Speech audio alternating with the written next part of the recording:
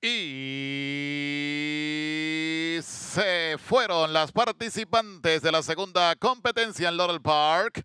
Retrasa Meli Ponini B, se queda entre las últimas. Viene la punta Prince Palmer.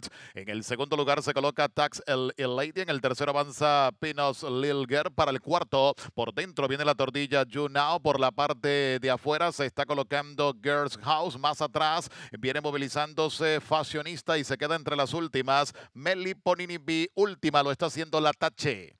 23-1 es el parcial del primer cuarto de milla. Prince Palmer, número 8 en punta, cuando ingresan a la recta decisiva. Por dentro trata de colarse Pinos Lilger. Le negaron el paso. Tiene que ir por fuera. En el tercero se queda Tax Eglade. Ahora sí en bala por la parte exterior de la pista. Pinos Lilger, la número 3 en contra de Prince Palmer. La número 3, Pinos Lilger. Toma la punta y con Jaron Barbosa saca ventaja para liquidar la segunda competencia de esta tarde del Laurel Park Peanuts, Lilger.